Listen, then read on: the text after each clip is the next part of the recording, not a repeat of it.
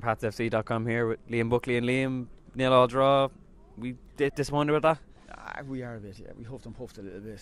Pitch didn't help by bearing in we were trying to play. That said, um, we'd be disappointed we haven't picked up all three. I mean, we probably, in general play, probably had more of the possession and the better chance or whatever. Um, that said, they had one at the end. You know, you need a little bit of luck from that end. Look at, we're four games into it.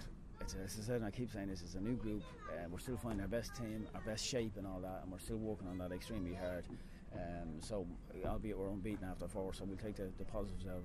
Mm. And the positives, I mean, we've kept three clean sheets in the four games, and even the goal we have conceded, I suppose we'll put that down to a bad error. But Yeah.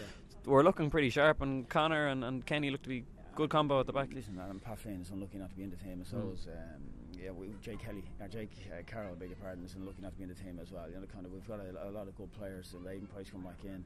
Defensively, we looked organised. Just with the ball, we've got to create more quality chances and better quality chances, and understand how we're trying to create them and what we're trying to do to create them. You know, we're still a little bit hit and miss at times at one or two, um, and that's what we'll be working on over the next few weeks with a view to getting this collectively better, Mm. um, which, which, is our, our, our aim at this minute in time. Mm. And just on a, on a day today, just on the fitness wise, I thought the fitness of the lads was great. It was very warm out there, you know, and conditions, like we said, the pitch wasn't great.